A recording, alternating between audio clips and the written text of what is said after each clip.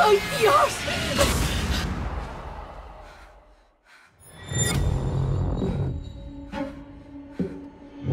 Hay personas ahí fuera que merece la pena salvar. No lo sabes, ¿verdad? Pues yo sí.